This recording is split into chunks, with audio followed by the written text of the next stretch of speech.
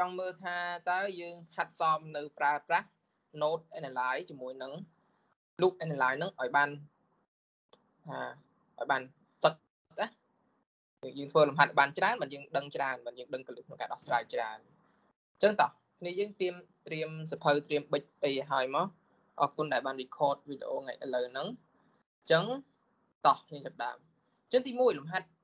3.24តែពិតខ្ញុំកែព្រឹកមិញហើយ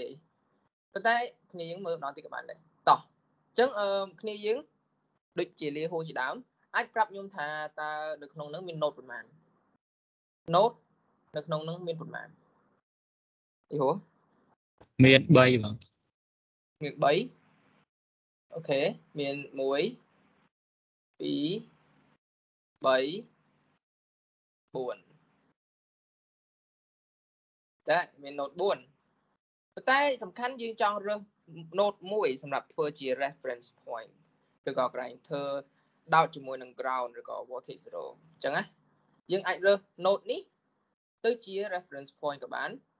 node នេះទៅជា reference point ក៏បានឬក៏កន្លែងនេះជា reference point ឬក៏កន្លែងនេះគឺជា reference point នឹងតាមចិត្តយើងឯងតាមចិត្តយើងចង់ដាក់ឯណាក៏ដាក់ទៅអញ្ចឹង node ទាំងអស់មាន4ប៉ុន្តែយើងអាចយកមួយមកធ្វើជា reference point អញ្ចឹងអឺប្រហែលជាគ្នាយើងគាត់ឃើញថាយើងយកអាចយក ខាងក្រោមនេះធ្វើជា reference point ត្រូវអត់លីហួរធ្វើជា ground ត្រូវត្រូវទេត្រូវទេបាទបងអូខេអញ្ចឹងយើងរកឃើញ node អស់ហើយយើងមាន reference point របស់យើងបន្តមកទៀតយើងអាច define ថា node មួយមួយមានតម្លៃប៉ុន្មានអញ្ចឹងយើងឃើញថា node ឡើយនេះគឺវាមាន12 volt ជាស្រ័យផងនេះយើងនេះ12 volt កន្លែងនេះគឺ16 volt ឃើញទេឃើញឃើញគ្នាយើងឃើញទេអញ្ចឹងបើយើងវាស់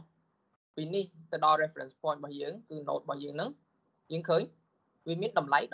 12បើយើងវាស់ពីនេះទៅដល់ reference point របស់យើងគឺវាតម្លៃ16ព្រោះអីព្រោះកន្លែងមានទឹកដៅម្ចាស់ណាតោះតទៀតយើងហើយជាយើងសមអស់ហើយយើងយើងចេះអស់ហើយហ្នឹង កន្លែងនេះវាមួយមកខ្ញុំខ្ញុំតាំងជាអសឲ្យមួយវាមួយហ្នឹងតោះអញ្ចឹងយើងសរសេរ note សមីការ note នៅក្នុងហ្នឹង note នៅត្រង់ v1 ដាក់ពណ៌ក្រហមវិញទៅកុំឲ្យគ្នាយើងបាក់មើលហ្នឹងអញ្ចឹងសមីការនៅកន្លែង note ទី1ហ្នឹងគឺវាមានអូផ្លេចមើលផ្លេចមើលទៀតចាំផ្លែនេះយើង វាវាមាន super note កន្លែងមួយនេះគឺភ្ជាប់បាន super node មួយអញ្ចឹងយើងធ្វើការ super node មុនហើយខ្ញុំចូលចិត្តធ្វើ super node មុនអញ្ចឹងយើងក៏ធ្វើ super node មុនទៅព្រោះស្រួលអញ្ចឹងនៅលើ super node មួយហ្នឹងគឺយើងរកឃើញថាអឺតង់ឆុងនៅចន្លោះពីរហ្នឹងគឺស្មើប៉ុន្មាននេះយើង V1 ដក 6 V វា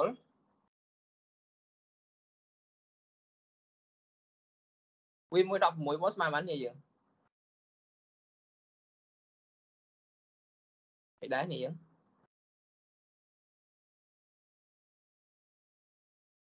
តន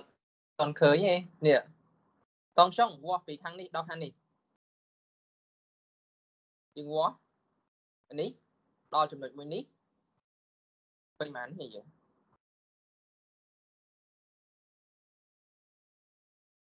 មិនដែរលីហួរ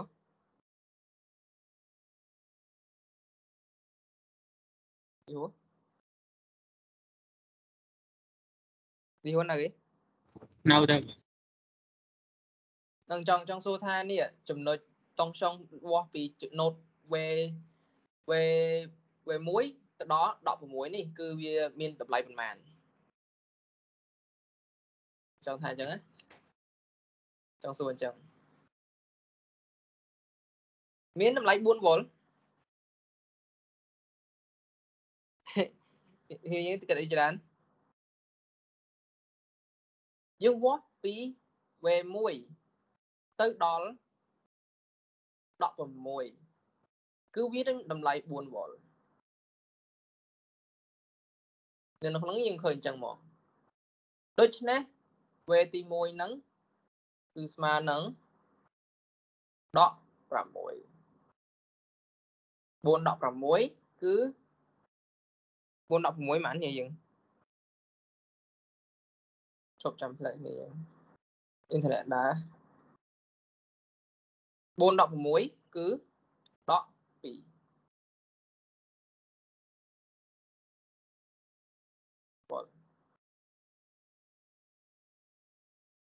ចឹងយើងឃើញថា V1 កន្លែងហ្នឹងគឺស្មើនឹងដក2វ៉ុលត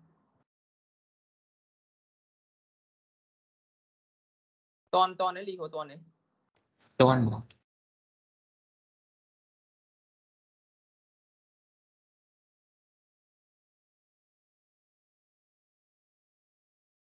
អូខេឃើញឃើញហ្នឹងនេះយើងអ្នកផ្សេងអត់មានអត់មានសំណួរកន្លែងហ្នឹងដែរយើងឃើញ V1 ឃើញ12វ៉ុលហើយ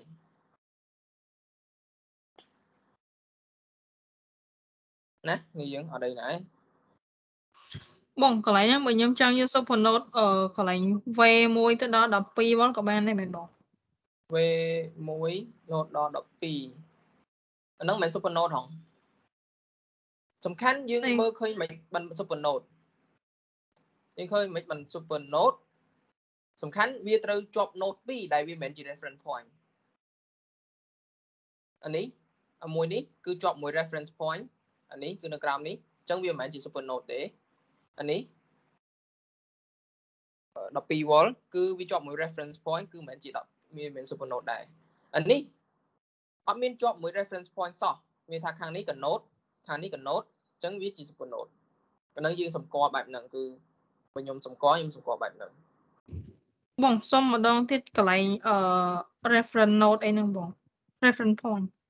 reference point ហ្នឹងគឺវាជាប់ទៅ ground អញ្ចឹងសំខាន់យើងរក node ឲ្យចេញឲ្យអស់មក អញ្ចឹងវាមាន4 node ហើយនេះ node ទី1ចុះខ្ញុំដាក់វងចោលនេះ1គ្នាយើងប្រហែលជាដាច់អ៊ីនធឺណិតតិចតិចណាតោះអានេះគឺ node ទី2នេះគឺ node ទី3ខ្ញុំរកឃើញនេះគឺ node ទី4សំខាន់យើងចង់ដាក់ reference point របស់យើង គឺនៅត្រង់ណាយើងដាក់កន្លែងនេះក៏បានអត់អីទេព្រោះភាគច្រើនគ្នាយើងចង់ដាក់កន្លែងហ្នឹងយើងដាក់កន្លែងអា 3នេះក៏បានដែរនេះជា reference point របស់វាក៏បានដែរតោះនេះអញ្ចឹង reference point ហ្នឹងយើងរត់នៅកន្លែងណាក៏បានដែរឲ្យតែយើងវាស្រួលខ្លួនឯងណាឲ្យតែបានកណនីលឿនយើងដាក់កន្លែងហ្នឹងទៅតនតននេះតននេះចាបង yes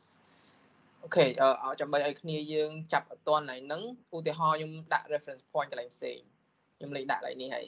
ខ្ញុំលុបចោលទាំងអស់ខ្ញុំធ្វើឡើងវិញឲ្យគ្នាយើងមើល OK OK យើងដាក់ reference point កន្លែងនេះម្ដងនេះគឺជា ground អូខេអត់អីណានេះយើងអត់អីណា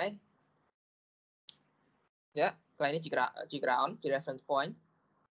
អញ្ចឹងវាមាន node ប៉ុន្មាននៅសល់ node កន្លែងនេះមួយកន្លែងនេះមួយហើយនឹងកន្លែងនេះមួយត្រូវអត់ត្រូវអត់ ចាបងអូខេអញ្ចឹង note កន្លែងអានេះកន្លែងខ្ញុំច្អល់នេះគឺស្មើប៉ុន្មាននេះយើងលីហួរលីងអ៊ី6បង yes គឺ6 volt ពួកអីពីនេះវាស់ទៅដល់ reference point គឺ6 volt ហ្នឹងឯងចឹងឯង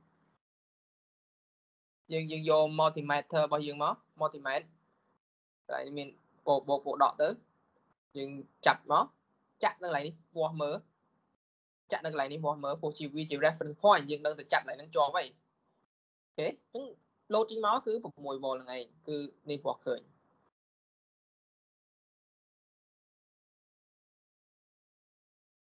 តោះនេះតោះនេះអញ្ចឹងយើងសាក់ ចាប់នេះយកអឺកន្លែងផតកន្លែងពោបោកនេះយើងចាប់កន្លែងលេខនេះណូតកន្លែងនេះវិញមើលឃើញបាន4 yes គឺ4 volt ពីនេះដល់នេះគឺ4 volt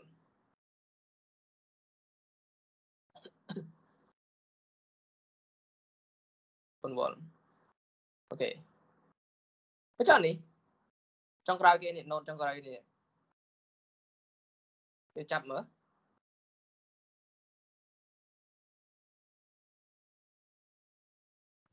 អាហ្នឹងម៉ាន2វ៉ុលឬបងហឹមបានវ៉ុល12អឺ18 18វ៉ុលច្រើនជាងណា18វ៉ុលព្រោះអានេះបូកជាមួយអានេះផង មើលឈប់ឥឡូវឥឡូវកុំតណាយើងគិតបែបហ្នឹងបើអ្នកខ្លះគាត់គាត់អត់ឃើញឯងគាត់អត់ឃើញដូចមើលអត់ឃើញដែរអញ្ចឹងយើងបើអ្នកអ្នកមើលអត់ឃើញយើងកុំកុំខ្លាចយើងកណនីតាម note analyze មកអ្នកមើលអត់ឃើញណាអ្នកមើលឃើញថាកន្លែងហ្នឹង18 volt អញ្ចឹងណាយើងកណនីតាម note analyze មកអញ្ចឹងយើងតាំងកន្លែងហ្នឹងវេមួយមកខ្ញុំលុបអានេះចោល បងចុះកន្លែងហ្នឹងអឺយើងវាអត់ពាក់ព័ន្ធមួយ2គីឡូអូមនោះណាឯងបង2គីឡូអូមតេតងតើតែយើងអត់ទៅមើលអាខ្សែពីហ្នឹងនេះចាំមើលចាំមើលខ្ញុំតាក់កែនេះឲ្យមើលឲ្យឲ្យគ្នាយើងស្រួលចិត្តតិចចុះយើងសេមក note super note super note នៅកន្លែងហ្នឹងណា note នៅកន្លែង V1 ហ្នឹងអញ្ចឹងគឺវាតង់ចុងកន្លែងនេះ V1 ដកជាមួយនឹង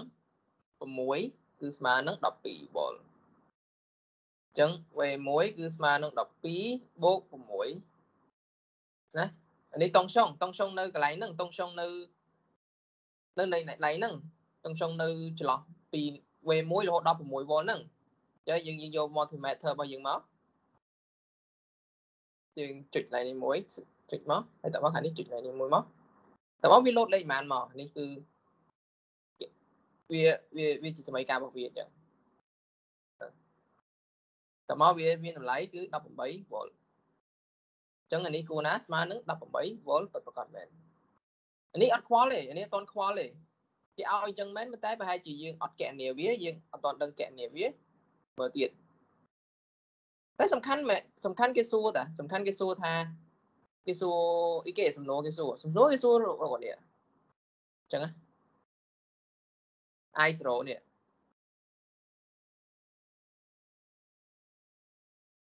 អូខេអឺ KVL ទៅជាងលំហាត់បានឹងក់ប្រើ KVL ក៏បានដែរលោកគ្រូហ្នឹងហើយប្រើ KVL ទៅរកអីក៏ឃើញដែរព្រោះប្រភពពេញហ្នឹងហើយ យើងរកតង់ចុងរបស់1គីឡូក៏ឃើញរកតង់ចុងរបស់2គីឡូក៏ឃើញរកតង់ចុងរបស់1គីឡូខាងក្រោមក៏ឃើញដែរយើងគូសលូបវាមកយល់ទេបាទលោកគ្រូតែគេគេឲ្យរកតាម node analysis អាហ្នឹងមានទៅអញ្ចឹងហើយគេឲ្យដាក់រកតាម note ដែរលោកគ្រូតែបើថារកតាម KVL គឺស្រួលហ្មងបង្ហាញគាត់ទៅហឹមហើយ ដល់ស្រ័យនេះចប់យើងទៅទៅអឺ30អ40 40ឲ្យលោកគ្រូអឺណារ៉ាគាត់ស្រាយដល់39ហើយឃើញឃើញគាត់សិនលំហាត់មកឲ្យយើងកែអញ្ចឹងលោកគ្រូអរេអឺដល់39ហើយយើងកែបាទបាទហ្នឹងហើយហើយត40ហ្មងទៅចាំឲ្យគាត់មើល link ក្នុងនោះទៅបាទលោកគ្រូបាទហើយនេះសិនណាបើហើយទៅអឺលំហាត់អូបន្ខេទាប់បាទហើយនេះសិន នេះយើងអញ្ចឹងយើងរកឃើញ note ទាំងអស់ហើយអានេះគឺ reference node របស់យើងអានេះគឺ4 volt អានេះគឺ6 volt អានេះគឺ18 volt ប៉ុន្តែសំណួរគេសួររក e នេះដុតទៅខាងក្រោមនេះអញ្ចឹងដើម្បីរកអឺដើម្បីរកអាចរន្តមួយហ្នឹងគេឲ្យរកតាម node analysis កន្លែងហ្នឹងយើងទៅរកតាម node analysis ដែរអញ្ចឹង node កន្លែងនេះគឺវាមានចរន្តចូលទៅក្នុងហ្នឹងប៉ុន្មាន អញ្ចឹង node analysis ហ្នឹងណាគឺវាស្មើ0ចរន្តចូលទៅចូលទៅចូលទៅគឺស្មើ0អញ្ចឹងហើយអានេះគឺដូចគ្នាចរន្តចូលទៅអឺ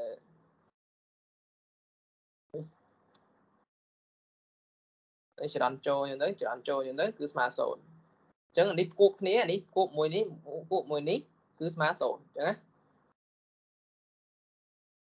ប៉ុន្តែយើងអត់ស្គាល់យើងស្គាល់ យើងស្គាល់អីខ្លះ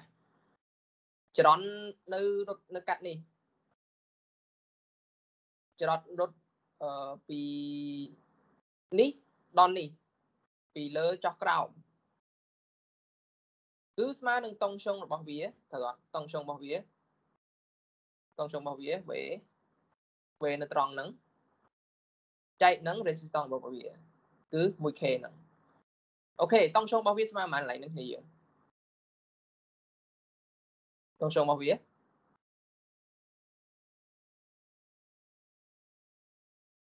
មិនស្មើ4ដក6នៅលើ 1k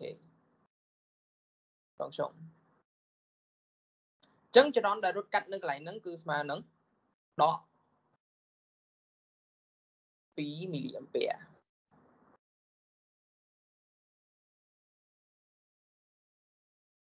មិនចឹង ចឹងមានថាម៉េចបើយើងដាក់យើងដាក់ទិសដៅយើងដាក់ទិសដៅទិសដៅព្រួយរបស់យើងចោះក្រោមចឹងប៉ុន្តែតម្លៃចេញមកវាដកចឹងមានថាព្រួយរបស់យើងខុសហើយវាត្រូវឡើងលើវិញចឹងវាត្រូវឡើងទៅលើវិញ2មីលីអាំពែឬក៏យើងទុកចោលក៏បានដែរនឹងវាអត់អាស្រ័យទេហ្នឹងចឹងយើងដឹងព្រួយមួយហើយយើងសល់ព្រួយមួយទៀតដែលយើងអត់ដឹងគឺនៅកន្លែងនេះ ចឹងឯងត្រូវអត់នេះយើងព្រួយហ្នឹងវាតាក់ទងនឹងជាមួយនឹងអា12វ៉ុលនេះ12វ៉ុលហ្នឹងចេញមកមិនវាបែបហ្នឹងចឹងណាទាំងក្នុងនេះយើងឃើញថានៅត្រង់នេះវាមានព្រួញចេញមកកន្លែងនេះមួយដែលយើងត្រូវកណនាព្រួញចេញមកកន្លែងនេះមួយដែលយើងត្រូវកណនាមួយទៀតបើយើងដឹងថាព្រួញចេញមកកន្លែងនេះគឺស្មើប៉ុន្មានតាម KCL អូខេចាំមើលខ្ញុំដាក់ note add v1 note line v1 នេះវាមានចរន្តរត់ចេញវាមានសម័យកាលមិនគ្នាយើង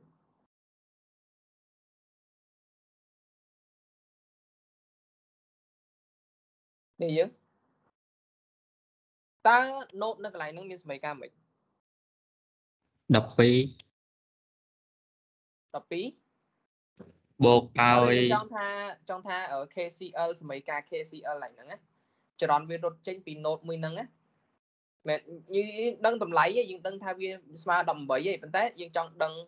យើងចង់បែកវាចេញមកកុំឲ្យវាជាប់ហ្នឹងណាអូខេចាំខ្ញុំឧទាហរណ៍ឲ្យមួយចុះអឺ18ចែកឲ្យ 1k អញ្ចឹងឯងអូគ្នាយើងនិយាយត្រូវអីអីតើអីទៀតនេះយើង18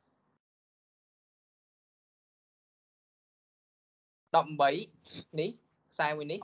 18លើ 1k ខ្សែមួយនេះដង18ដក4ចែកដល់ 2k អូខេត្រូវត្រូវតទៅទៀតខ្សែចុងក្រោយគេនេះយើងតាំងដោយ i x ចុះចឹងវាមិនស្មើនឹងបូក ix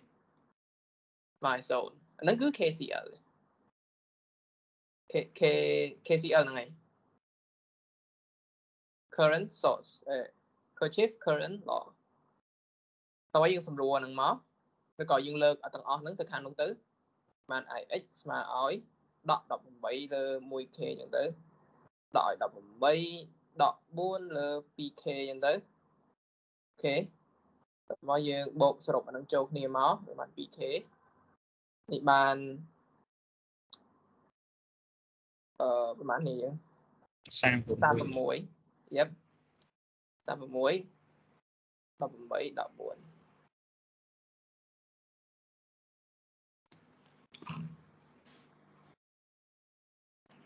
K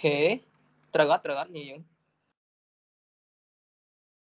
យើងទាញដកចេញមកក្រៅឬអត់យើងទាញដកចេញមកក្រៅទៅអានេះនៅសក់បូកអានេះនៅសក់បូកតែមកនេះខ្ញុំចប់ទៅ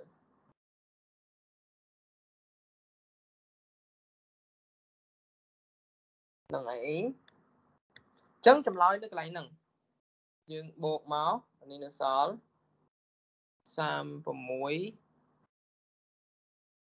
បូក18ដក4គឺ50ហើយ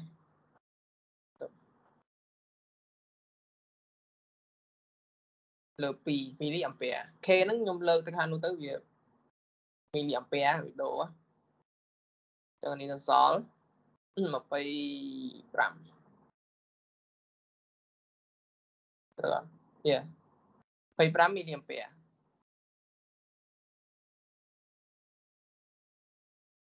អូខេចឹងយើងឃើញហី IX គឺវាស្មើនឹង1025 milli ampere ខ្ញុំសេមិនទេដក25 milli ampere ខ្ញុំលើក6 volt ចេញឆ្ងាយ វាទៅ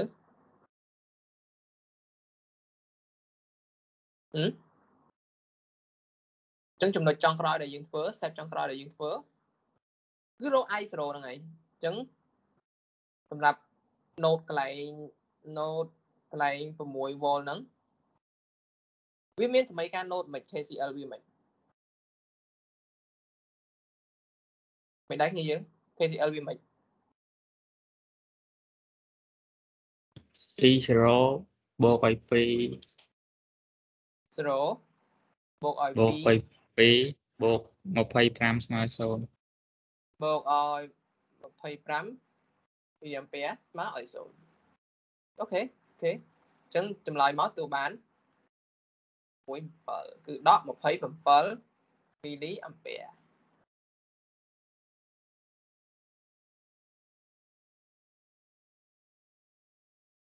ចឹងឯងនេះយើងចឹងឯងបើយើងខ្ញុំខ្ញុំមាន slide ទុកអត់នេះ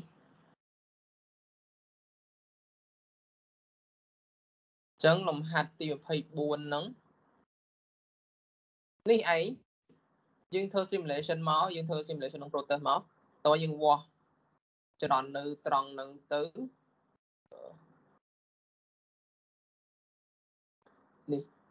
ISO ហ្នឹងយើងដាក់អអំពែម៉ែត្រចូលទៅក្នុងទៅយើងឃើញថាវាដក27មីលីអំពែដូចយើងកណនាមែននេះ17មីលីអំពែអូខេចឹងឃើញចម្លើយត្រូវហើយមានសំណួរនេះយើងអត់អីណាគ្នាយើង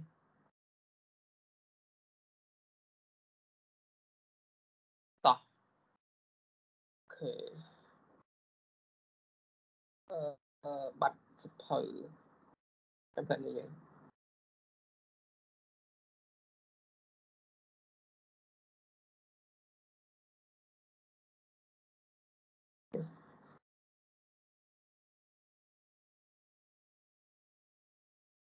ចឹងយើងបន្តទៅលំហាត់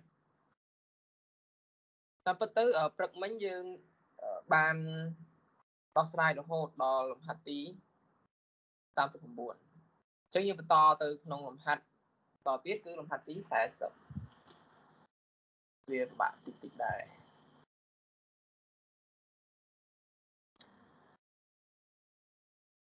អឺទៅ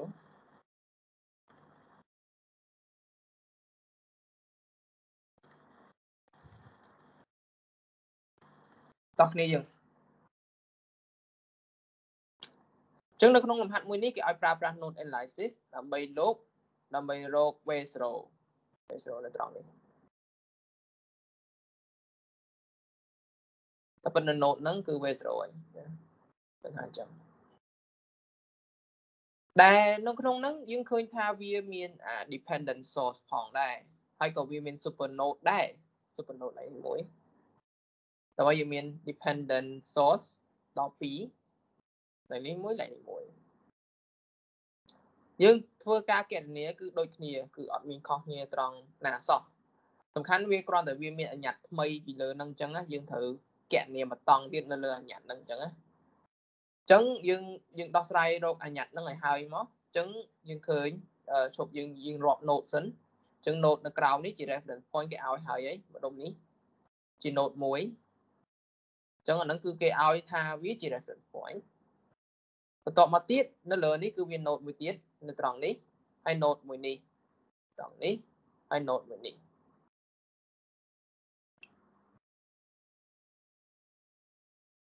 យាយឃើញអញ្ចឹងបានអូខេតោះអានេះស្មើមិននេះយើង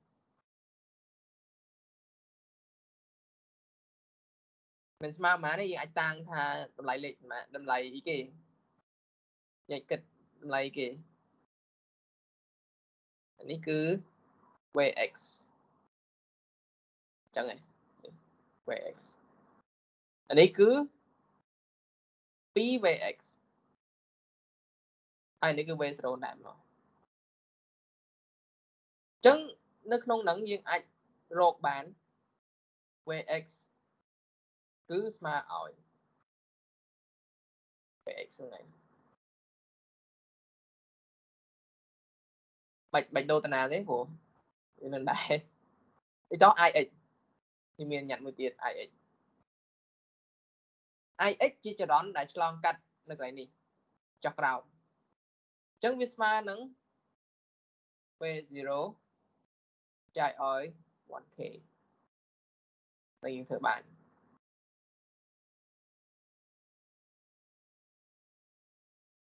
យើងតាំងអានឹងហើយយើងអាចរក node ចាប់ដើមរក node ដែរ KCL មក node node អឺត្រង់ណាត្រង់ចំណុចនេះក្នុងត្រង់ត្រង់ចំណុច VX នេះអញ្ចឹងត្រង់ចំណុច A VX អឺ VX ហ្នឹងវាជា super node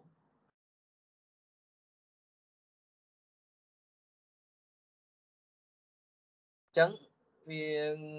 ទៅកណនី super node សិន super node super node vx ដកជាមួយនឹង v0 គឺស្មើនឹង12 v នឹងសមីការទី1ដែលយើងទាញបានព្រោះថាតង់ចុងកន្លែងហ្នឹងគេឲ្យហើយគឺ12 v តែតង់ចុងកន្លែងហ្នឹងគឺវាស្មើនឹង vx ដកជាមួយនឹង v0 ហ្នឹងឯងអូខេយើងអូខេទេ យល់ហ្នឹងហើយបន្តមកទៀតគឺ node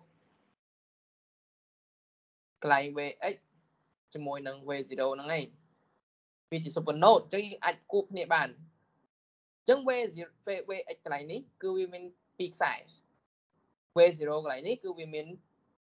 3ខ្សែអញ្ចឹងយើងបានបាននេះខ្លះនេះយើងអឺខ្ញុំដូរពណ៌បន្តិចហ្នឹងហើយ ខ្សែទី1ខ្សែខាងនេះចុះមកខាងនេះខ្សែមកខាងនេះ 4 ix គឺ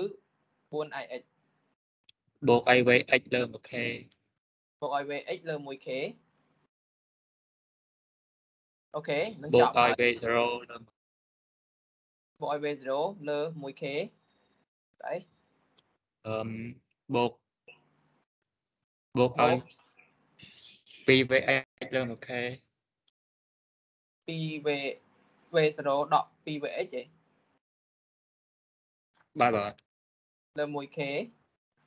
ហើយនឹង2ដក2មីលីអាំពែឬក៏យើងអាចឆេថា2លើ 1k ចេះលឿនអូខេយើងសម្រួលសមីការមកគឺថាសម្រួលកន្សោលមកយកភាពបែងរូបរបស់វាគឺ 1k មកអញ្ចឹងអានេះវាមានបញ្ហាបន្តិច អញ្ចឹងយើងគុណនឹង 1k គ្រប់គ្រប់កន្លែងអានេះគុណទៅវាបាន 4k ix បូកជាមួយនឹងនេះបាត់នៅដដែលនេះនៅដដែលនេះនៅដដែលមកនេះនៅដែរបាទសូនបន្ទាប់នេះជំនួស ix លើនេះយើងដឹងហើយនេះ ix របស់វាគឺស្មើនឹង v0 លើ 1k អញ្ចឹងយើងជំនួសចូលមកបាន 4k v0 លើ 1k បូកឲ្យ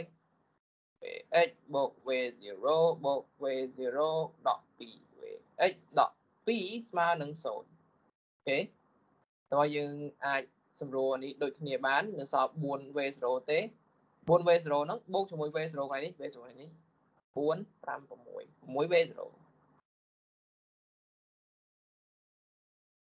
vx ម្ដង vx មាន1ហើយតោះ12អញ្ចឹងវាបានដក vx តមក2ហ្នឹងលើកខាងនោះទៅវាបាន2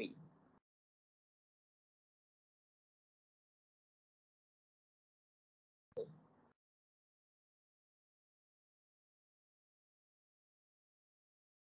ខេយើងបានសមីការទី1សមីការទី2មក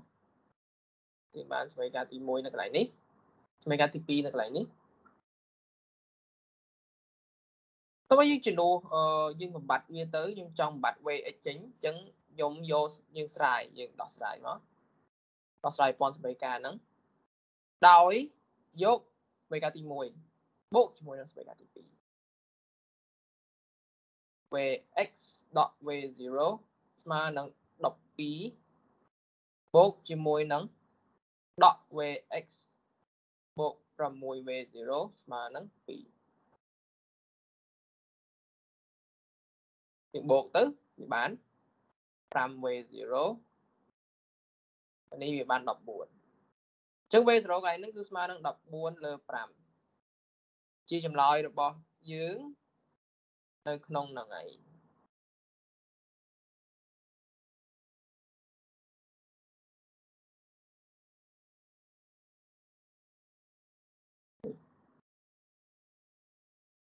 នេះអឺ vx មក ខ្ញុំលុបខ្សែចោលអញ្ចឹងចម្លើយរបស់យើង v0 កន្លែងនេះគឺវាស្មើនឹង14លើ5វ៉ល2.8 2.8លោកគ្រូ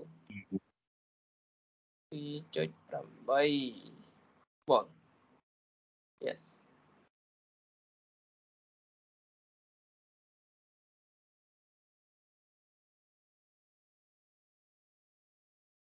ជាចម្លើយរបស់យើងបើយើងផ្ទៀងទៅក្នុង simulation យើងនឹងឃើញចម្លើយហ្នឹងអញ្ចឹងមែនប៉ុន្តែតោះយើងតទៀតអឺតែហ្នឹងគឺជាពាក់គ្នាយើងសិន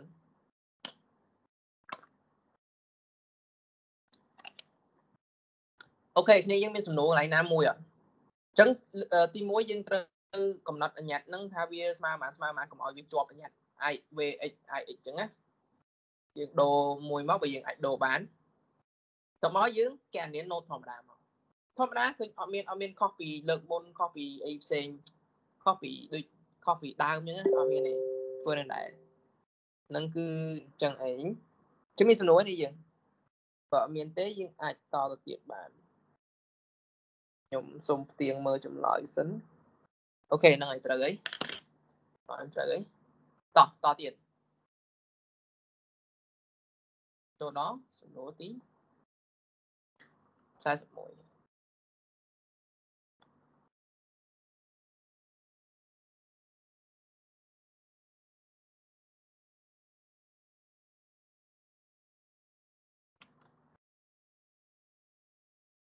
អូខេអញ្ចឹងអឺសួរគ្នាយើងសិនតើ note កន្លែងហ្នឹងគឺមានប្រមាណយើងគេឲ្យ note ណា note នៅកន្លែងហ្នឹងមានប្រមាណ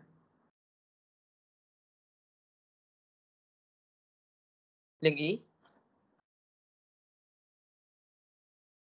លៀងអ៊ីនៅឯចាបងចៅ note note នៅកន្លែងហ្នឹងមានប្រមាណយើងអាចកំណត់បានប្រមាណ note 7 note បង7 note 1 2 3 4 5 5 nốt á vậy đom 7 nốt này 1នេះ1នេះ1នេះ1ហើយនឹងនេះ1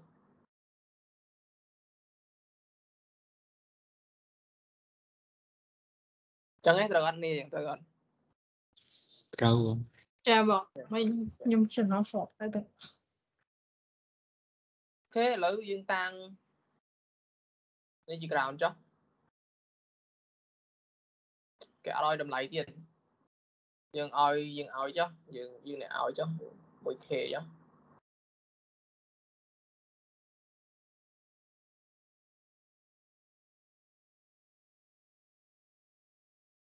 មួយ k ចុះ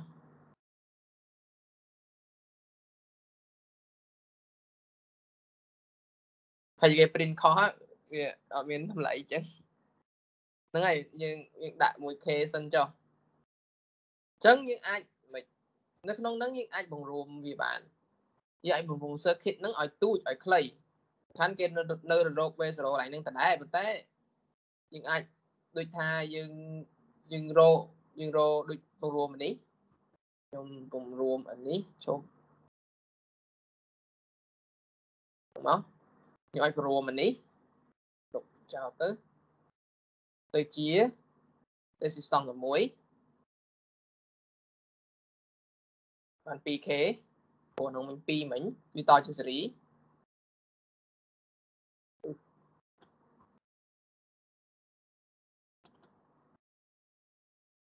នេះអឺដាក់ ពណ៌បៃតងនេះវាតជាសេរីអញ្ចឹងយើងបានចេះយើងអាចបូករួមវាបានដល់ស 2k តោះវាតជាផ្នែកទៀតយើងអាចរួមវាបានទៀតវាបានប្រហែលគ្នាយើងអឺនេះ 1k អញ្ចឹងទៅបូកឲ្យ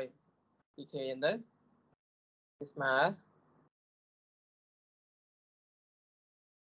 អឺ3អញ្ចឹង 3k 3k វល់នោះឡើងទៅអញ្ចឹងបាន2លើ 3k អញ្ចឹងអញ្ចឹងយើងអាចបង្រួម2 resistance នៅត្រង់នេះវាអាចមួយនេះជាមួយនឹងអាមួយនេះវាបាន2លើ 3k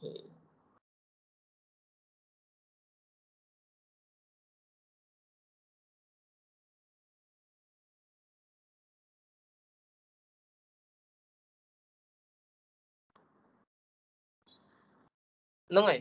អឺមយើងឲ្យរួមនឹងបានអញ្ចឹងយើងងាយស្រួលកណនីកណនីបានលឿនអញ្ចឹងណាចង់ថាអញ្ចឹងអញ្ចឹងកន្លែងនេះគឺ vx អញ្ចឹងមក note កន្លែងនេះតែ vx កន្លែងនេះ v អត់ស្គាល់ v1 នេះគឺ 2vx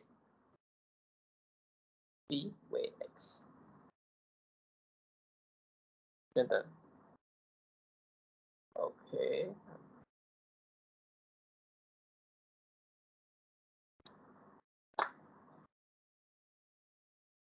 ហ្នឹងគឺវិធីក្នុងការធ្វើលឿនតោះអញ្ចឹងយើងឃើញមាននៅកន្លែងហ្នឹងគឺមានអញ្ញត្តិមួយដែលវាជា dependent source នៅដែលវាត្រូវការហ្នឹងអញ្ចឹងយើងរកវាមកយើងកំណត់វាមកវាស្មើប៉ុន្មាន vx នៅកន្លែងហ្នឹងយើងកំណត់ទេព្រោះ vx វាស្មើ vx ស្រាប់អីទៅអីទៀតយើងមាន super node ដៃនឹងមួយនៅត្រង់នេះដែលវាមានតម្លៃស្មើប៉ុន្មាន super node node នៅត្រង់នេះអញ្ចឹងខ្ញុំសួរគ្នាយើងថាតើ v1 ដក vx ស្មើនឹង6ឬក៏ vx ដក v1 ស្មើនឹង6មួយណានេះយើង vx ដក v1 ស្មើនឹង6 Yes គឺ vx ដក v1 គឺស្មើនឹង6ខាងលើនេះខុស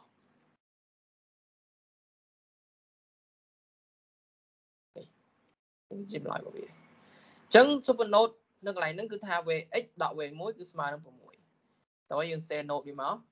node របស់វាគឺ v1 អឺ node node node node node node ចាំផ្លែ node v1 និង vx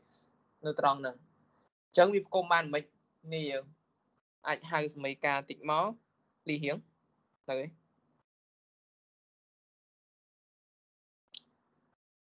លីលីហៀងនៅឯ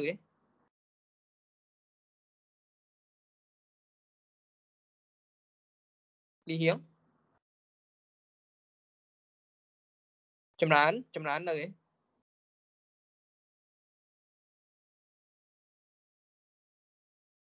អូខេលីលៀងអ៊ីលៀងអ៊ីជួយជួយហៅសមីការតិចមក ត្រង់នេះ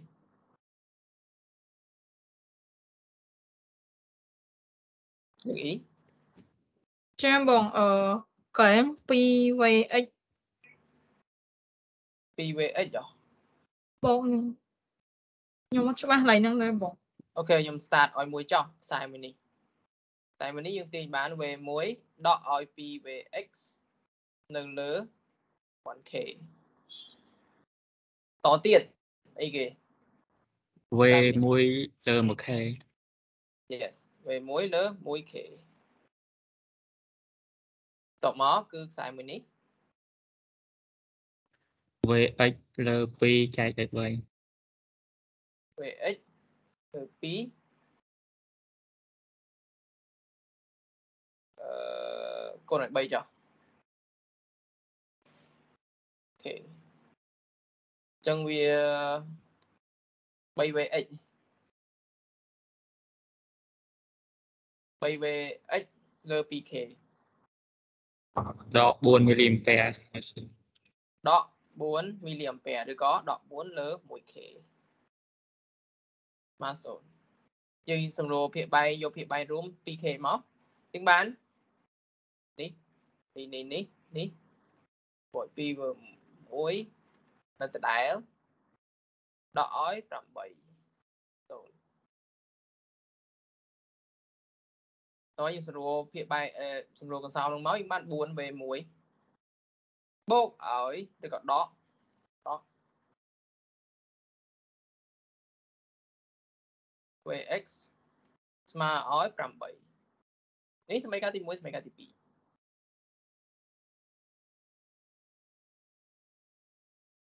តើយើងដោះស្រាយមកដោះស្រាយយើងចង់បាន a យើងចង់បាន vx ឡើយនេះ v1 គឺអត់សំខាន់ទេ v1 តាណាទៅទៅអញ្ចឹងណា v1 តាណាក៏ទៅទៅសំខាន់គឺយើងត្រូវការ vx ឡើយនេះចឹងដោះស្រាយសមីការហ្នឹងគឺស្រួលទេយើងមិនគិតអីច្រើនទេយើងយក1កូនឲ្យ4ទៅហើយបូកជាមួយនឹង2ទៅអញ្ចឹងយើងបាន 4 vx ដកឲ្យ4 v1 មកឲ្យ24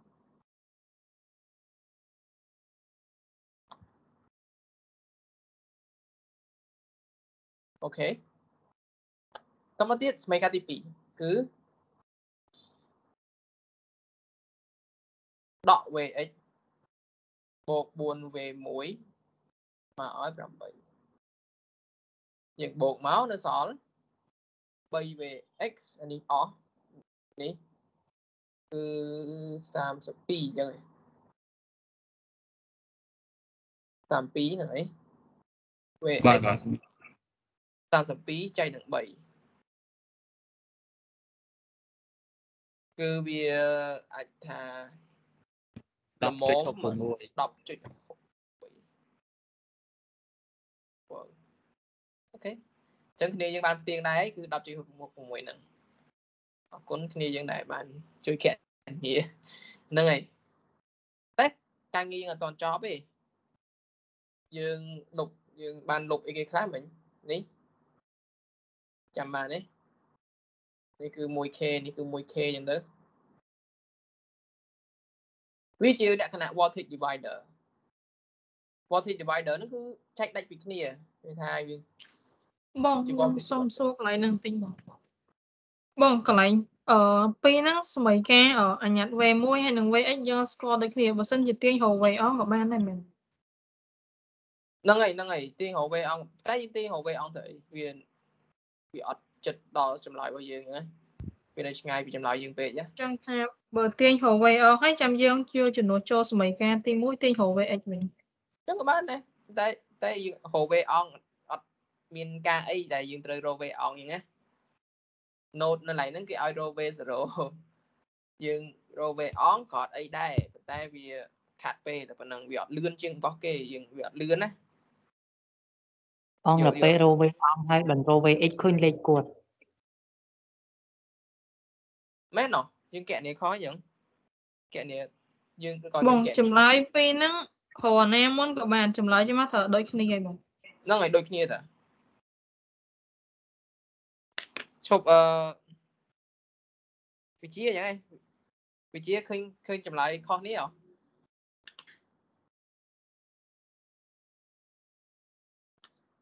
ទៅវិជាឃើញខុសក្បៀងណា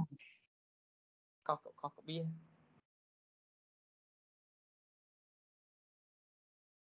បើយើងជំនួសកុំយកកុំយកលេខក្បៀសទៅជំនួសវិញយើងលោលេខអាភាគបែងទៅជំនួសវិញណាបើភាគយើងយកអាភាគទៅជំនួសវិញណា វាសវាខុសគ្នាតិចតួចអត់អីប្រហែលជាយើងយកអាលេខលេខនេះមកទៅជំនួសតែមិនបាត់ហ្នឹងហើយបងបាទដែលខ្ញុំអត់ទាន់អាកន្លែងសមីការ note V1 ហើយនិង VX អាត្រង់ដក4លើ 1K ហ៎បងដក4ដកដកដកដកដកដក4លើ 1k នេះហ្នឹងបាទនេះគឺ ខ្សែលើនេះវាដក4អូគ្នាយើងខ្ញុំយល់គ្នាឆ្ងល់អីអាហ្នឹងគឺដកអឺដក4មីលីអាំពែចេះប៉ុន្តែ1មីលី4មីលីអាំពែហ្នឹងយើងអាចសរសេរបានគុណ10ស្វ័យគុណ13យើងអាចលើកអាដក10ស្វ័យគុណ13ហ្នឹងចោះទៅក្រោមទៅវាក៏ស្មើនឹង1លើ 1k ដែរណានេះគឺស្មើនឹងដក4គុណ ឲ្យ1លើ10ស្វ័យគុណ3អញ្ចឹងណាយើងអាចទីបាន4លើ 1k តន់តន់ទេតន់បងអរគុណបាទបាទអូខេអរគុណសំណួរដែលគ្នាយើងប្រហែលជាគ្នាយើងគាត់ខ្លះគាត់មានចម្ងល់កន្លែងហ្នឹងដែរតែគាត់ហ៊ានសួរហ្នឹងហើយថាសួរមកអត់អីទេតោះ ការងារយើងអត់ទាន់ចប់ទេយើងរកឃើញ VX កន្លែងហ្នឹងពិតមែនវាស្មើនឹង10.66 volt ពិតមែនតែសំខាន់គេសួររក V0 ហ្នឹងយើងរកតទៀតយើងបំបែកអាអីគេយើងបំបែកអា resistance ចេញមកក្រៅវិញចេញមក 1k 1k វិញអញ្ចឹងណាមិញហ្នឹងយើងយើងដាក់ចូលទៅក្នុងទៅវាស្រួលកណនីអញ្ចឹងណានេះយើងយកចេញមកក្រៅវិញអញ្ចឹងយើងរកតាម voltage divider voltage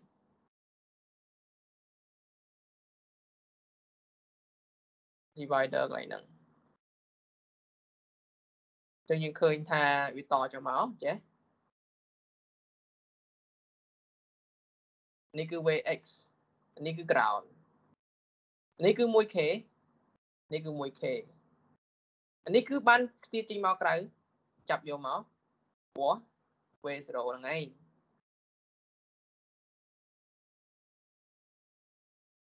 គឺ V0 ដែលយើងមកតែគេមកចឹងគេសួររកអាកន្លែងហ្នឹងគឺលក្ខណៈ voltage divider យើងឃើញនេះយើងឃើញជាវាលក្ខណៈ voltage divider ចឹង V0 កន្លែងហ្នឹងវាស្មើនឹងកន្លែង source របស់វាចេញមកគឺ Vx ហ្នឹងចែកជាមួយនឹង 1k បូក 1k ហើយតបមកគុណជាមួយនឹង resistance នៅកន្លែងវានេះគឺ 1k តែប៉ុណ្្នឹងចែកអំពីក៏បានដែរចែកអំពីទៅវា ដាច់សាច់គ្នាមិនទៅធ្វើអីទេតែចង់ឲ្យគ្នាយើងឃើញតោះចុះយើងចំនួនលេខចូលមក6 6ចែកឲ្យ 2k បាត់អស់ហើយបងអញ្ចឹងកន្លែងហ្នឹងបើយើងយកអឺ2លើ 3k យកមកដើម្បីរក V0 មកក៏បានដែរបង2លើ 3k អត់បានទេព្រោះ V0 ហ្នឹងគឺនៅក្នុងអា resistance ទៀតអញ្ចឹងយើងត្រូវបំបែកយកវិញ បែកវាវិញហ្នឹងឯងយើងយើងធ្វើមិនហ្នឹងយើងគ្រាន់ព្រមវាឲ្យទូចឲ្យយើងស្រួលមើលឲ្យយើងស្រួលកណនីអញ្ចឹងវាអត់ជាប់អញ្ញត្តិអីវាវាអត់ជាប់អញ្ញត្តិ V0 ចេះហ្នឹងហើយចេះយើងធ្វើបែកវាចេញមកវិញ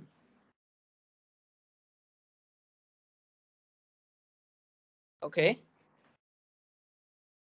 ចឹងអានេះគឺបានចម្លើយមកគឺ5.33 volt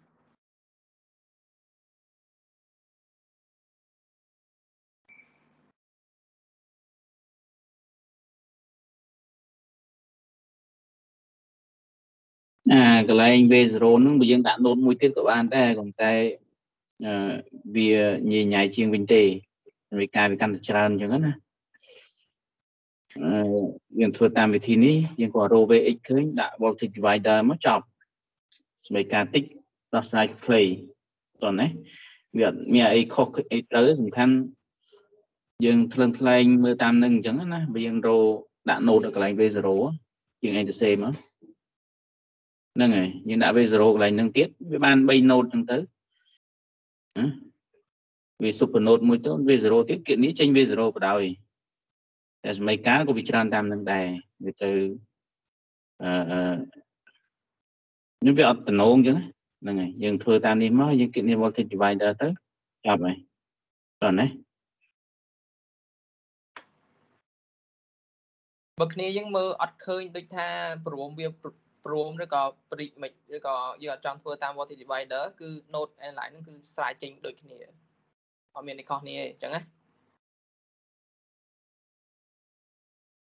តនតននេះនេះតននេះតន់បងបាទអញ្ចឹងមានសំណួរនៅត្រង់នឹងអត់អឺបើបើគ្នាយើងអត់យល់ពី voltage divider ហ្នឹងមិនអាចសួរបានឬក៏មានចម្ងល់អីណាអាចសួរបាន ជំនួយសរុបនេះគឺស្មើនឹង5.33 volt តោះបន្តទៀតអូខេខ្ញុំបត់ជិះទៅអីទៅមុខទៀតគឺចូលដល់លំហាត់ប្របាក់ប្របាក់អី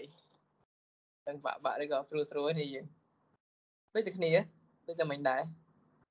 នេះវាបាត់ 1k ដែរនេះនេះគោណា 1k ដែរ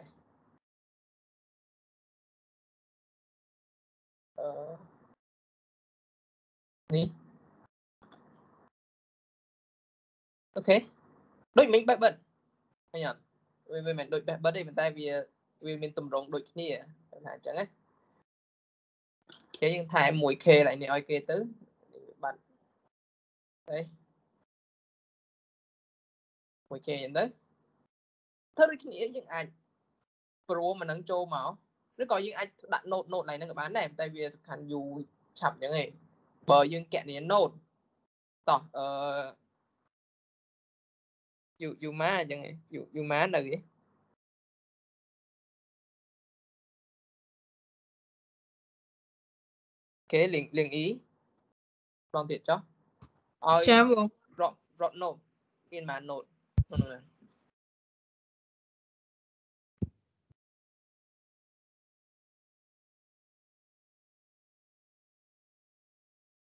4 note បង4ចាខ្ញុំរកឃើញ6 note នេះមួយនេះ1 2 3 4 5 6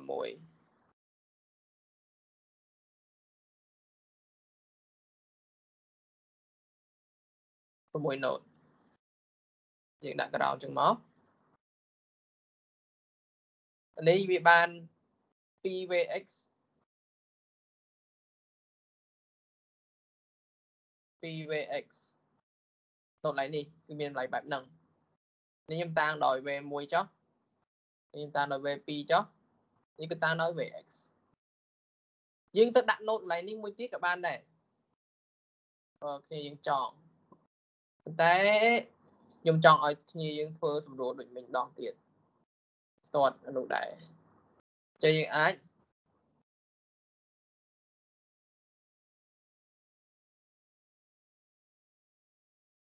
ចឹងមកយើងអាចបំរួមអា node ទាំងពីរហ្នឹងចូលគ្នាទៅជាច្រឡំបង្រួម resistance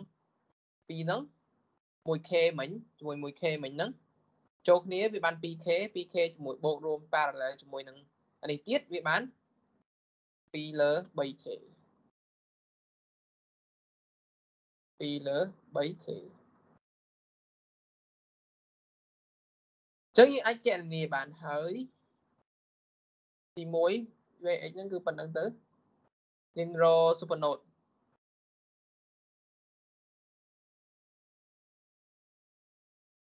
supernode នៅត្រង់ហ្នឹង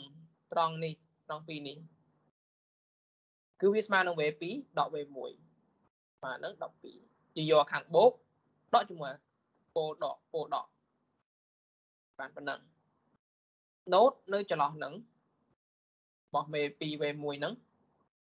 គឺវាបានសមីការ KCL 1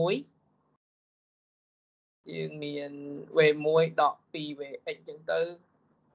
ទៅលើ 1k អញ្ចឹងទៅណា ហើយមួយទៀតគឺ v1 នៅលើ 1k និងខ្សែទី1ចប់ហើយខ្សែពីរនេះអស់ហើយតបទៀតគឺខ្សែពីរនេះម្ដងពីខ្សែនេះវាគឺ v2 លើឈប់ឈប់ឈប់ខ្សែដំបងគឺដក2មី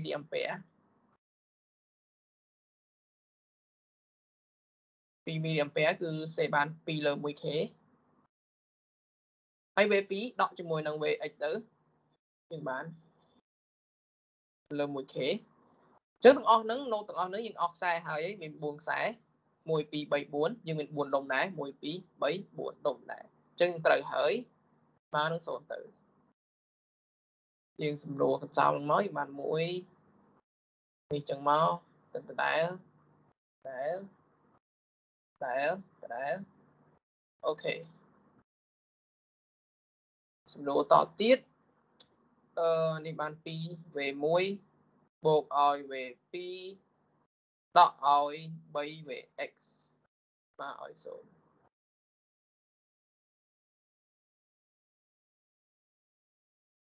ត្រូវអត់នេះយើងត្រូវអត់នេះហើយ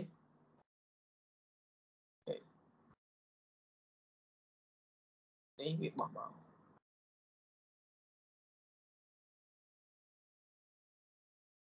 តមកទៀត note នៅកន្លែង x ណង note នៅកន្លែង vx នៅត្រង់ហ្នឹងយើងសរសេរបានសមីការបែបម៉េចឌីហួរ 3vx លើ2 3vx លើ 2k បូកឲ្យ vx ដក v1 លើ 1k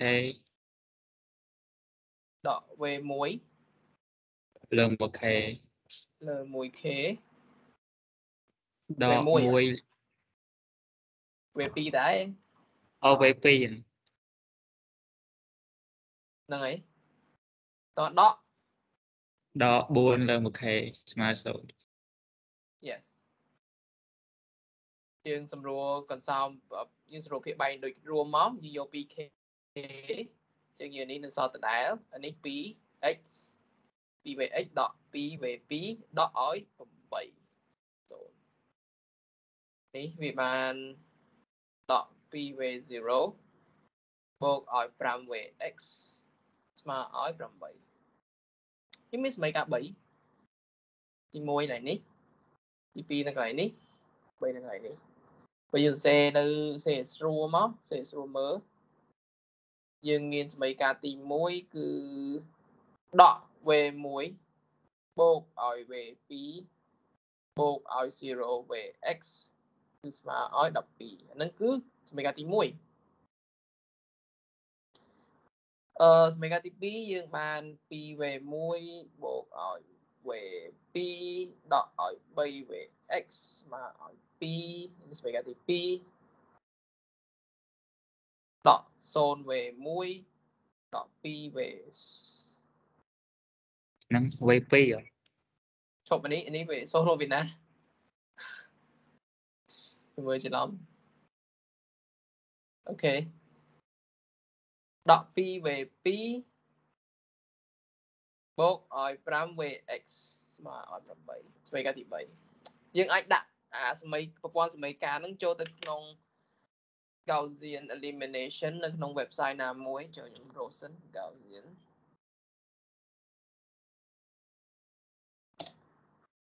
នេះឧទាហរណ៍នេះមួយចុះអញ្ចឹងយើងអាចដាក់សមីការចូលទៅវាដោះស្រាយរក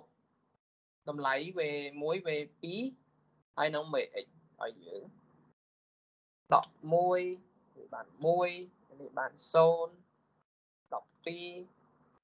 2 1ដក3បាទ2នេះ0ដក2 5ហើយនឹង8អូខេសមមកកណនីមកបានចម្លើយមកគឺចម្លែក តែត្រូវចម្លែកប៉ុន្តែត្រូវតោះអូខេចម្លើយដឹងហើយសេចូលមក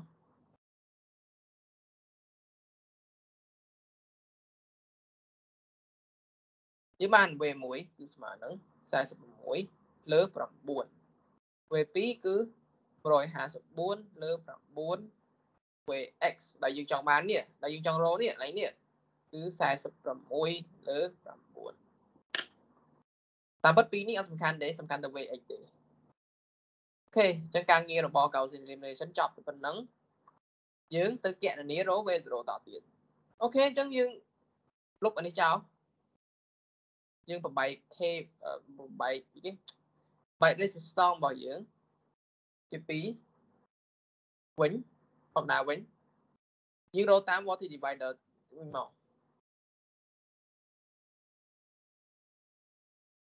h divider មកតោះទីយើងណាអាច volunteer ទីសម័យកាលបានតោះលៀង e ឯងលៀង e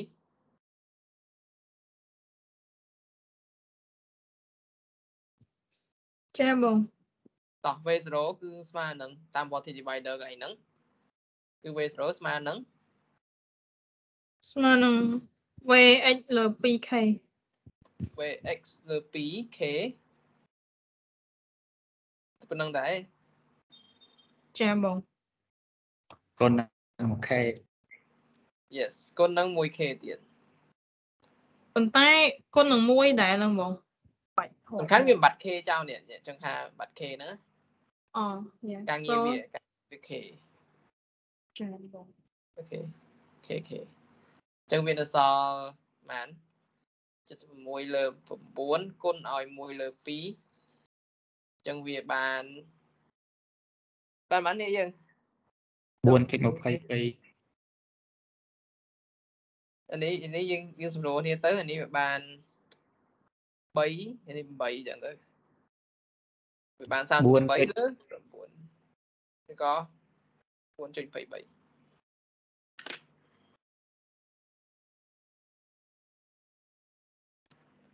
4.23 23មែនលោកគ្រូ22 22ដែរ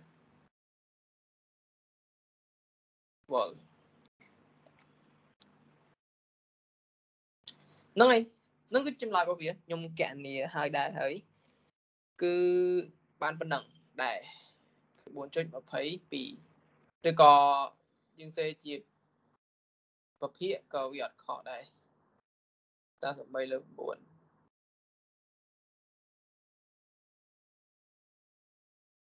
ហ្នឹងបែបហ្នឹងឯង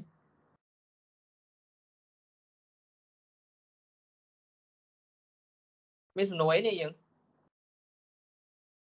អត់ទេនេះយើងប្រហែលជាចេះអស់ហើយតោះហើយ បន្ទាប់យើងបងអឺខ្ញុំសុំសួរកន្លែងអឺ2មីលីអាំពែអាហ្នឹងពេលវាឡើងទៅលើអញ្ចឹងបានន័យថាយើងត្រូវយកដកបើសិនជាសញ្ញាហ្នឹងចុះក្រោមត្រូវបូកវិញមែនបងអឺចាយើងបើខ្ញុំចំណាំបើបងចំណាំវិញគឺថាវាចេញពី note ឬក៏ចូលទៅក្នុង note ភាគច្រើនចូលទៅក្នុង note ហ្នឹងគឺយើងដកអីចាចាចាចាគឺយើងយើងអាចយើងអាចអឺយើងអាចកំណត់សម្គាល់មួយថា យើងវាស់មានថាតម្លៃនៅខាងនេះទាំងអស់គឺវាជាចរន្តដែលរត់ចេញពី note ទាំងអស់អានេះគឺតម្លៃរត់ចេញពី note ទៅកន្លែងណានេះទេវិញនេះនេះចង់ថាមួយនេះគឺរត់ចេញពី note ទេទៅដៅវាបើយើងកណនាមកគឺវារត់ចេញពី note ទេអានេះវិញគឺវារត់ចេញពី note ចុះក្រោមចេះអានេះគឺរត់ចេញពី note ចុះក្រោមចេះដក2មីលីអាំពែអា នេះគឺរត់ចេញពី note ទៅខាងនេះអញ្ចឹងគឺយើងយករកអាចរន្តដែលរៀងរត់រត់ចេញពី note រហូតបើយើងបើយើងយោងតាមនឹងបើយើងថាយើង define ខ្លួនឯងថាវាចិត្តរត់ចេញពី note អញ្ចឹង v1 ដកឲ្យពី vx អានឹងគឺតង់ឆុងនៅត្រង់ត្រង់ហ្នឹងពេលវាថាតង់ឆុងខាងបូកឯនេះដកឯនេះអញ្ចឹងណា យើងយកបូកដកអាដកដកខាងពោដកនឹងយើងកុំមើលនឹងយើងបើជប៉ុនមើលហ្នឹងនេះចំណាំមើលថាហ្នឹងគឺចរន្តរត់ជីមីណូតរត់ជីមីណូតរត់ជីមីណូតជីមីណូតតន់តន់នេះចចាបងចូលកន្លែង4មីលីអំពែនោះយើងអត់យកមកប្រើបង4មីលីអាំពែយើងយកបានបានយកមកប្រើតា ប៉ុន្តែវានៅ node ផ្សេងចឹងណាលុបចោលលុបចោលទៅនេះអឺនេះចង់ថា4មីលីអាំពែនេះគឺវារត់ចូលទៅក្នុង node VX អញ្ចឹងនៅក្នុង node VX នេះយើងបានយកមកមកប្រើនៅកន្លែងនេះអីយើងកំណត់សម្គាល់វាដោយវារត់ចេញពី node ហ្នឹងគឺដក4មីលីអាំពែ ឃើញឃើញមានសញ្ញាដកនៅកន្លែងហ្នឹងឯងចាបង Yes yes បើយើង define វានៅកន្លែង node នេះវិញបើយើង node នេះយើងមាន define វាទៀតអញ្ចឹងគឺ node មួយហ្នឹងគឺវាមានចរន្តរត់ចេញពី node នេះ node មួយហ្នឹងទៅតាមខ្សែមួយនេះគឺ4មីលីអាំពែពិតប្រាកដទៅតាមទិសដៅមួយនេះនេះក៏ដូចគ្នាវាមានចរន្ត រត់ចេញពី node មួយហ្នឹងគឺ Vx ពី Vx ហ្នឹងដកជាមួយនឹង V1 នៅលើ 1k អាចចូលអូម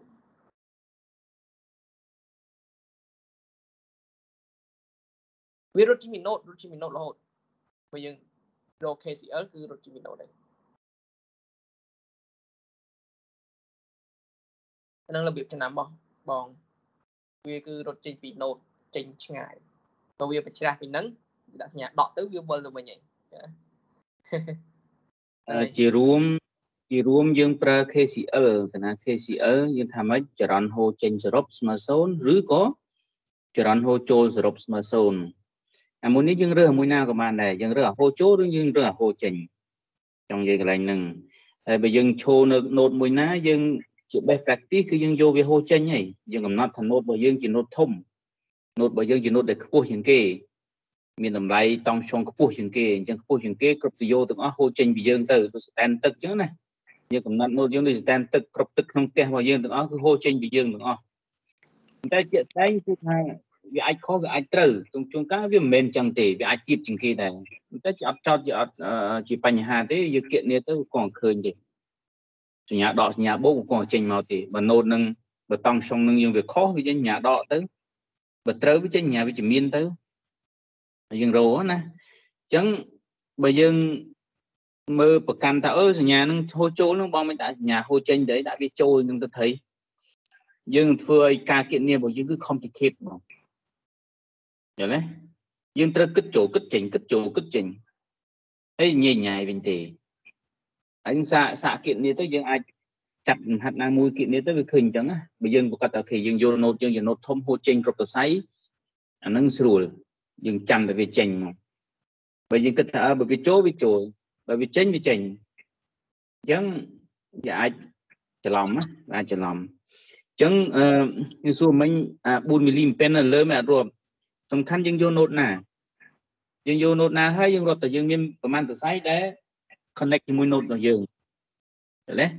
យើងយកផ្នែកមួយណាចឹងហើយមានប្រមាណសរសៃរាប់សរសៃវាអស់មក ហើយគិតតែប៉ុណ្្នឹងបានហើយកុំគិតទៅអីសរសៃផ្សេងផ្សេងទៀតការគិតនេះយើងនឹងឲ្យចេញស្អីទេបើសិនយើងយកចេះឲ្យយកចឹងណា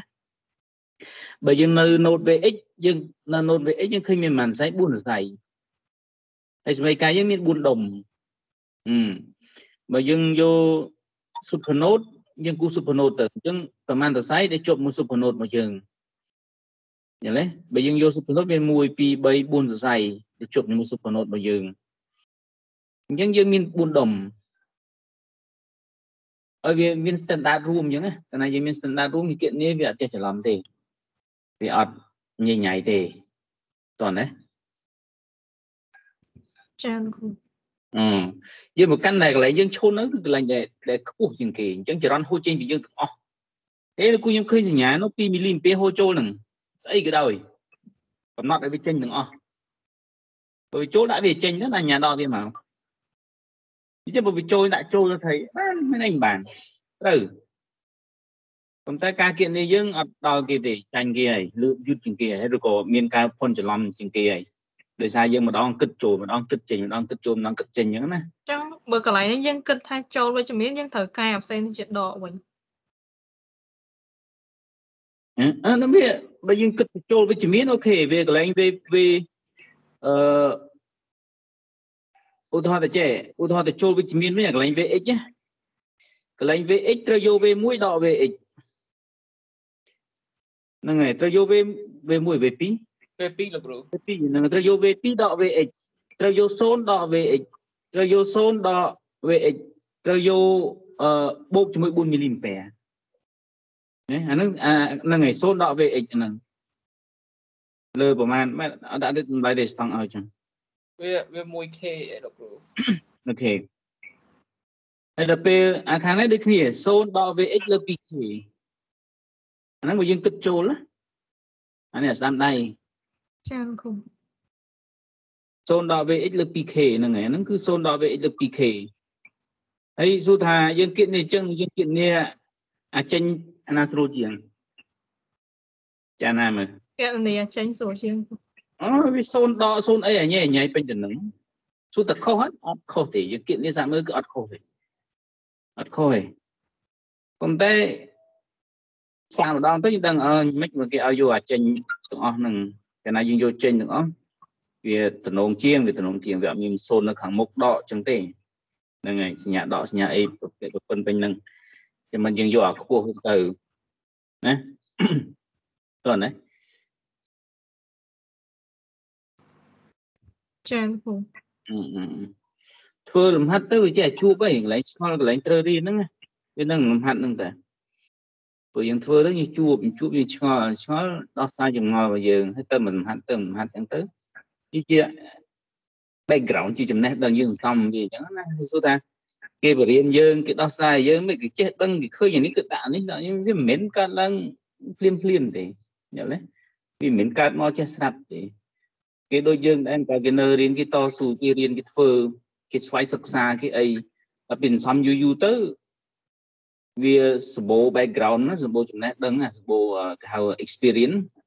បាត់ពិសោធន៍អញ្ចឹងគេគាត់ឃើញ nature របស់លំហាត់គេដឹងទៅដើរផ្លូវណាទៅដោះស្រាយមិនអឺជួនកាលក៏វា mistake ដែរក៏តែជាទូទៅគឺយើងដឹងហ្មងយើងចេះចេញលំហាត់មកដឹងដោះស្រាយផ្លូវណាដោះស្រាយផ្លូវណីស្រួលអញ្ចឹងណាអឺ គឺមិនគេដឹងគេធ្វើគេរៀនគេអនុវត្តហ្នឹងហើយយើងធ្វើលំហាត់10គេធ្វើលំហាត់100ហើយយើងទៅធៀបគ្នាមិនចំណេះដឹងចេះដូចគ្នាគេរៀនយល់ហើយរៀនរួចហើយទាំងអស់គ្នាមួយថ្នាក់មេរៀនរៀនទាំងអស់គ្នាហើយប៉ុន្តែមានចេះមានអត់ចេះអានេះគឺចឹងនេះឲ្យធ្វើលំហាត់គេចេះវាមិនមែនតែសិក្ខិតមួយម៉ាត់ទេមិនមែនទេកាលណាយើងរៀនទៅចេះវា logic logic ក្នុងការគិតបណ្ដោះខួរក្បាលយើងឲ្យចេះ ចេះគិតចេះគូចេះចារណាចេះវិភាគអីចឹងណាអឺវាមិនមែនបានតែប៉ុណ្្នឹងណាហ្នឹងដូចហាត់ពុតខួរក្បាលដែរមើលទៅបេះលើទស្សដីមកវាទៅមិនអីមិនហ្នឹងហ្នឹងហើយចុះទៅទៀតណាបាទបាទលោកគ្រូបាទលោកគ្រូ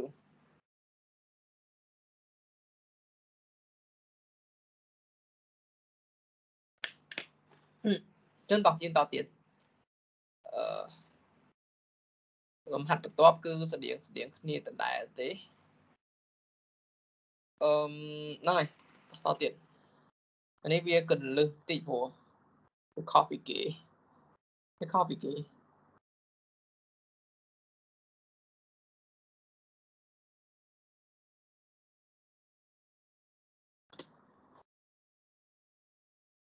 ហាត់មួយនេះ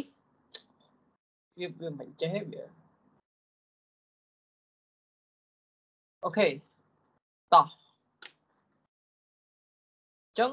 នៅក្នុងហ្នឹងយើងគេឲ្យ note reference ស្រាប់នេះ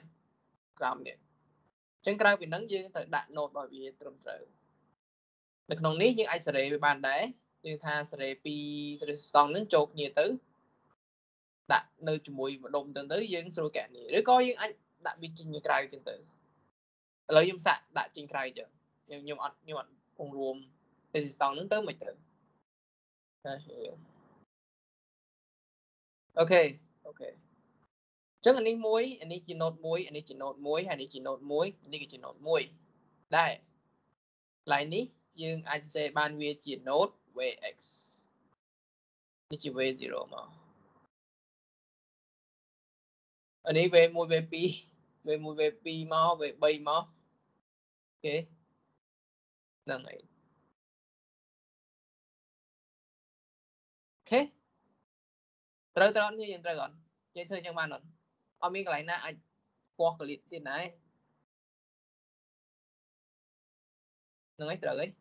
តោះអញ្ចឹងយើងសរសេរ supernode 2មាន supernode កន្លែងនេះមួយហើយនឹង supernode កន្លែងនេះមួយទៀត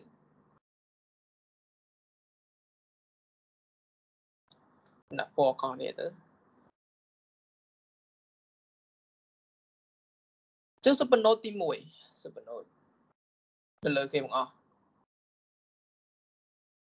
យើងអាចទាញបានថា v 3ដកឲ្យ v 1គឺស្មើនឹង 2x 2vx ត្រូវអត់នេះត្រូវអត់ត្រូវបាទ ត្រូវត្រូវអញ្ចឹង note កន្លែងហ្នឹងយើងអាចសេសមីការបែប make KCL របស់វាវេ3និងវេ1តើ note វាមិនលេងលេងអ៊ី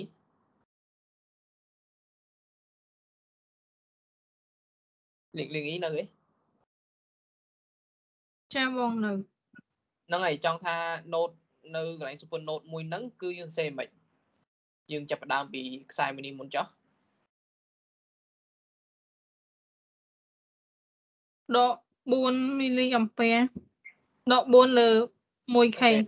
យេ14លើ 1k 1មីលីអាំពែហ្នឹងគឺ 1k ហ្នឹងឯងបងបង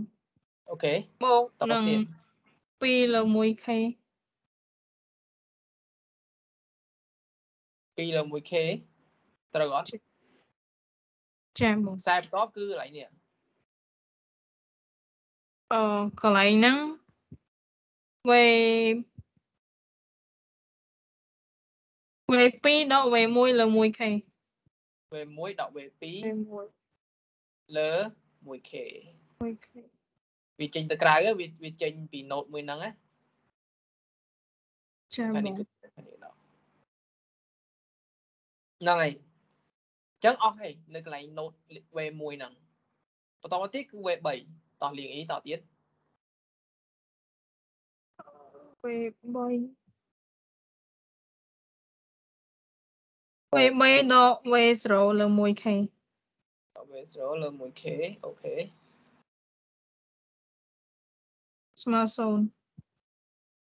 មើ0ណោះទៅចុះយើងបាត់ខ្សែនេះខ្សែនេះ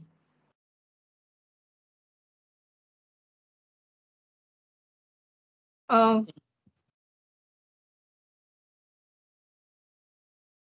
កន្លែងហ្នឹងវេ3លើ 1k ហ្នឹងហើយហើយនឹងហើយនឹង2វេ0លើ 3k 2វេ0លើ 3k ពីរ2វេ0លើ3មកព្រោះ k សម្រួលគ្នាអូនេះចង់ថាខ្សែនេះហើយហី នេះហើយហីនេះហើយហីនេះម្ដងគឺវេ3ដកនឹងវេ x ទៅលើ 1k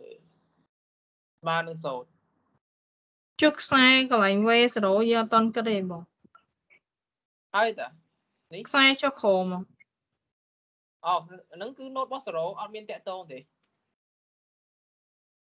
ចាបង យើងយើងយើងវាស់ទៅ note មួយហ្នឹងតា note ទៅ way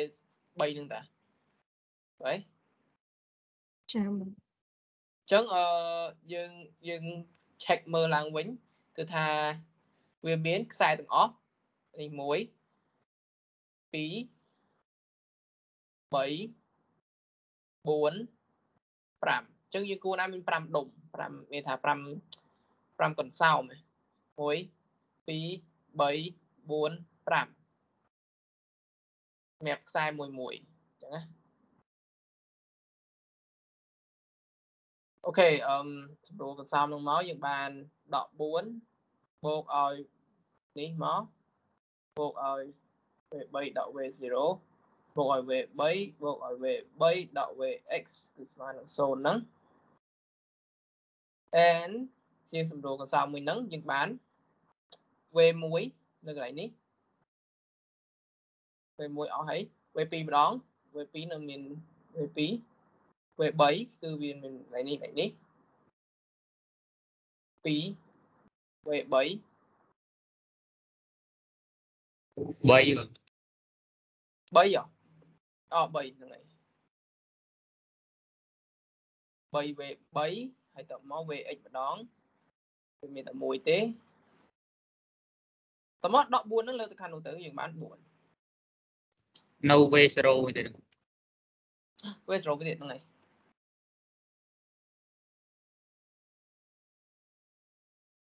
ដក V0 ស្មើឲ្យ4អូខេសម្រាប់ការទី2ច្រឡំ node node ទី1ចប់ node ទី2ម្ដង node ពណ៌ក្រហមសេ super node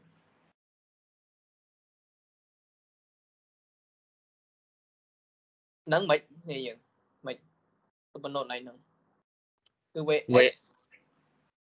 right ដកបាទ V ដក V2 ស្មើ12 12អូខេ node V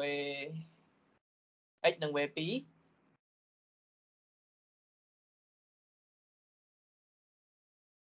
អឺហ្នឹងហើយដក V1 លេខ 1K ដក V1 មិន V1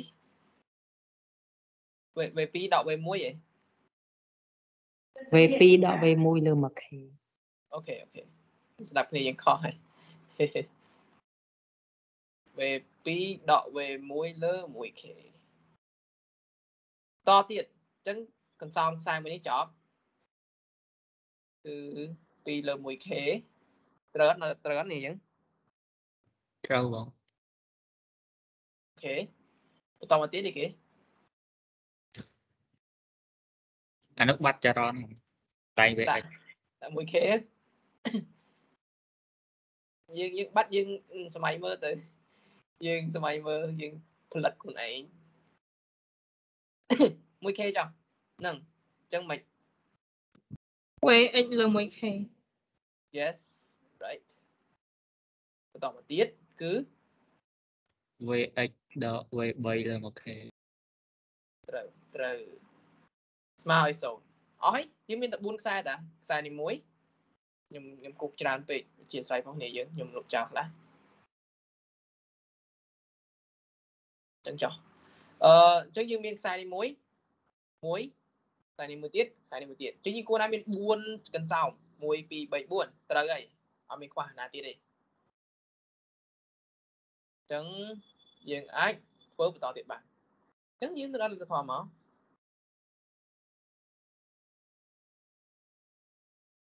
នេះមកអូខេអឺអូខេអញ្ចឹងយើងមានដក V1 មួយយើងមាន V2 មានតែមួយដែរ VX VX មាន2អញ្ចឹងយើងបានអេជប់ V3 មុន ដក V3 មុនចុះ VX មាន2អូខេ2 VX 2ខ្ញុំលើកទៅខាងនោះយើងបានដក2អ្វីការទី2របស់ខ្ញុំ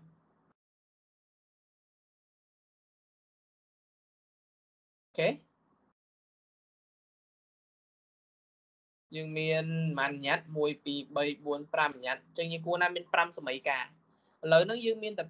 4សម័យការ1 2 3 4ចឹងហើយយើងមានអឺកន្លែងកន្លែងនេះយើងចង់រកយើងចង់រកវា0តែហ្មងឬចង់រកតាម voltage divider ពេលក្រោយអឺតាម base row ត្មងលោកគ្រូអូខេអញ្ចឹងបានតែ inner node របស់ V0 មិនទាន់សេផងអត់តន់សេលោកគ្រូហ្នឹងនៅហើយសល់នៅសល់ base row មួយទៀតលោកគ្រូអឺលោកគ្រូចង់ថែមអីគេមែនលោកគ្រូ មែនទេបើយើងថែម V0 គឺវាច្រើនបើយើងអត់ថែមទេយើងអត់យើងមានសម័យការតែប៉ុណ្្នឹងអញ្ចឹងណាអឺនឹងហើយលោកគ្រូ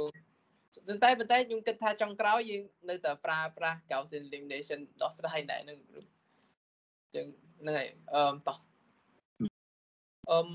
ខ្ញុំដាក់ពណ៌អីគេទៅនេះពណ៌ខៀវចុះអញ្ចឹងតោះ node base row ម្ដង base row អត់មាន super node អីណាអញ្ចឹង node នៅ line base row ហ្នឹង គឺវាខ្ញុំសេឲ្យហ្មងទៅគឺ v0 លើ 1k នេះ1បូកជាមួយនឹង v0 ដកឲ្យ v3 លើ 1k នេះ1ទៀតអស់ហើយប៉ុណ្្នឹងឯងទស្សផលមកវាគួរណាមាន3បូកឲ្យ 2v0 ស្មើឲ្យ0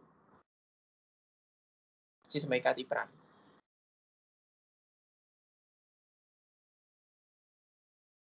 ចឹងហើយដោះស្រាយ ដោះស្រាយប្រព័ន្ធសមីការសមីការទី1យើងមានដក v 1បូកឲ្យ0 v 2បូកឲ្យ v 3បូកឲ្យ0 v x vx មានហ្នឹងអូ v x ក៏មានដែរខ្ញុំគួរណាលើកថានោះហើយមិនត្រូវល្អ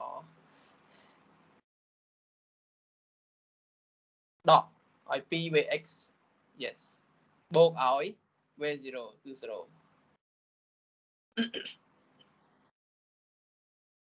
v0 0ស្វេកាទី1ស្វេកាទី2 v1 ដក v2 បូក 3v3 ដកឲ្យ vx ដក v0 ស្មើឲ្យ4ស្វេកាទី2ស្វេកាទី3 0v1 ដកឲ្យ v2 0v3 បូកឲ្យ v3 vx ច្រឡំដកឲ្យបូកឲ្យ 0v0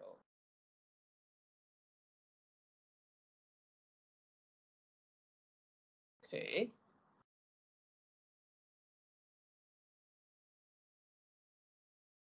សមីការទី4 ដក v1 បូកឲ្យ v2 ដក v3 បូកឲ្យ 2vx បូកឲ្យ 0v0 ដក2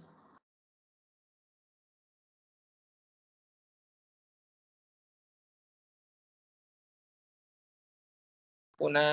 ហ្នឹងហើយ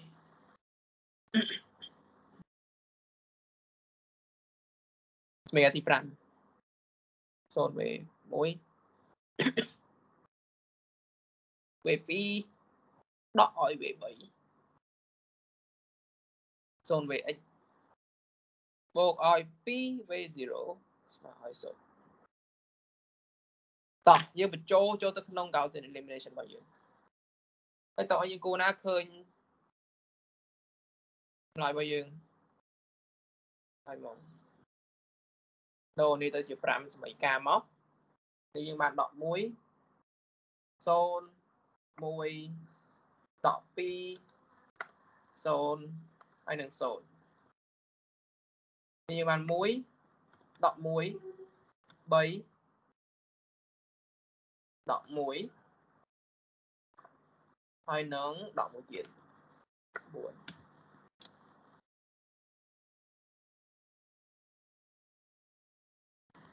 ខេ 0ដក1 0 1 0 12នេះវាមានខ្ញុំវាយលឿនទៅអឺ0ដក2អូខេ0 0ដក1 0 2 0អូខេយើងដោះស្រាយសមីការនឹងមក យើងឃើញចម្លើយ V0 ហ្មងអញ្ចឹងគួរណាដែល V0 គឺ x ទី5ហ្នឹងគឺស្មើ0កុំកែនេះចង់ងាប់0ហ្នឹងតោះយើងកត់ចូលកត់ចូលទៅក្នុងរបស់យើងអញ្ចឹង V ទី1គឺស្មើនឹង14 V ទី2គឺស្មើនឹង10 V ទី3គឺស្មើនឹង0 v ទី4ឬក៏ vx ហ្នឹងស្មើនឹង2ហើយ v0 របស់យើងគឺស្មើនឹង0ចុះចម្លើយរបស់យើងឃើញហើយនេះគឺ v0 គឺស្មើនឹង0ហ្មងចាំមើលខ្ញុំធ្វើ simulation ឲ្យគ្នាយើងបើខ្ញុំមានពេលហើយតើខ្ញុំផ្ញើរូបទៅឲ្យគ្នាយើងអឺហ្នឹងហើយវាគួរណាវាវាមានចម្លើយប៉ុណ្ណឹងយើងមើលដឹងយើងយើងមើលនឹងភ្នែក អត់ដឹងទេខ្ញុំអត់ដឹងដែរអូខេវាប៉ុណ្ណឹងហើយប៉ុន្តែតែចម្លើយវាស្មើ0ថ្ងៃស្មើ0វេ x វេទី3កន្លែងនេះវេទី3កន្លែងនេះគឺស្មើ0ទេតងចុងកន្លែងនេះណាគឺស្មើ0អញ្ចឹងដូចគ្នាយើងប្រហែលជាមើលទៅកន្លែង0 quantity divider មកគឺអត់មានកងចុងដែរគឺ0ដែរអញ្ចឹងប្រហែលជាត្រូវហើយតោះគ្នាយើងមានសំណួរអីហ៎មានសំណួរទេនេះយើង